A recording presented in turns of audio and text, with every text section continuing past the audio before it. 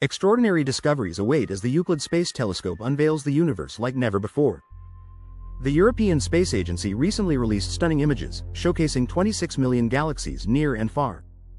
Launched in July 2023, Euclid aims to create an unparalleled 3D cosmic map over its six-year mission.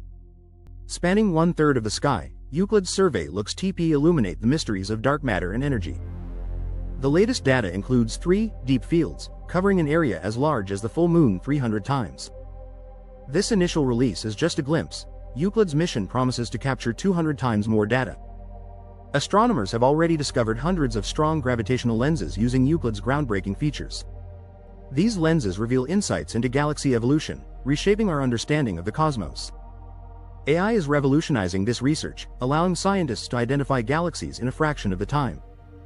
Imagine exploring the wonders of astronomy in Chile, where the skies reveal secrets beyond our imagination.